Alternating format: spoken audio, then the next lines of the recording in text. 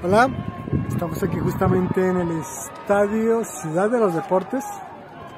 También lo conocen como Estadio Cruz Azul. Se le dio ese nombre justamente porque fue sede de este equipo de fútbol aquí en México, Estadio Cruz Azul, ubicado en la zona oriente de la ciudad, en la, colonia Ciudad de los Deportes.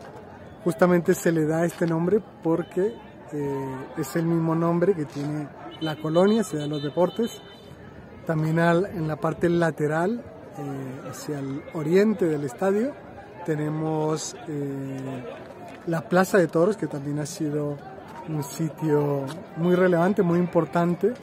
Eh, ahora ya está cerrado por, todas las cuestiones que tienen con, los animales, ¿no? el cuidado de los animales. Y bueno, ha sido un estadio donde también se celebran conciertos, eventos, de hecho, en el año 2021, en octubre, se celebró el concierto de Guns N' Roses. Tuvimos el honor de poder tenerlos aquí. Y bueno, también ha sido sede de diferentes eh, torneos internacionales.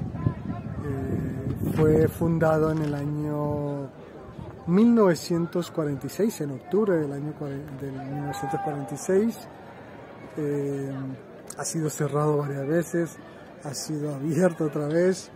Como les decía, uno de los clubes que, ha tenido este estadio pues ha sido el Cruz Azul. Actualmente fue reabierto porque se cerró en el año 2018, fue reabierto en el 2020 y ahora es sede del equipo Atlante. Un dato curioso, interesante, es que en el año 2018 fue cerrado porque iban a derrumbarlo y iban a hacer un centro comercial, el cual pues al final no, no se concretó, no se hizo y se reabrió otra vez al público y ahora pues está al servicio de eventos, de fútbol, de ligas, inclusive de, de, fútbol americano y otros deportes también. Y bueno, pues ha sido uno de los estadios, digamos, más antiguos de la capital de la Ciudad de México, donde eh, pues se han celebrado diversos torneos.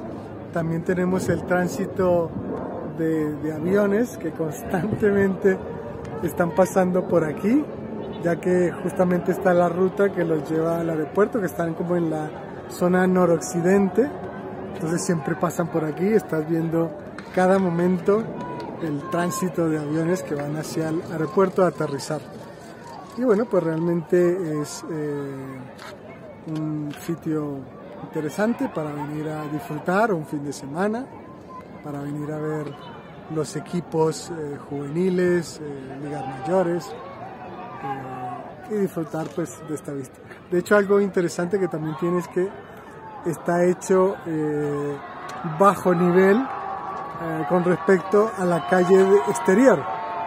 Eh, es decir, cuando tú estás fuera del estadio no lo ves tan grande porque justamente está hecho eh, hacia la parte de dentro, está hacia el interior, o sea, está por debajo del nivel, la zona del campo de fútbol, al, al nivel de la calle normal, que está mucho más arriba. Entonces esto hace que el estadio no se vea tan grande viéndolo desde hacia afuera. Pero bueno, ya aquí adentro pues tenemos este estadio que tiene una capacidad de 36.681 personas, creo que he visto aproximadamente, y que pues, eh, pues es un espectáculo y, hace parte de la historia aquí en México. Así que bueno, pues mm, espero que puedan venir a conocer este estadio. La entrada no cuesta mucho, la verdad es insignificante para venir a conocer y bueno, pues también si puedes participar de un evento grande o de un, partido interesante, pues mejor que mejor. Y bueno, aquí la verdad que tiene unas vistas increíbles. Así que bueno, espero verlos aquí próximamente, que puedan disfrutar de este bello estadio aquí en la Ciudad de México. Chao, chao.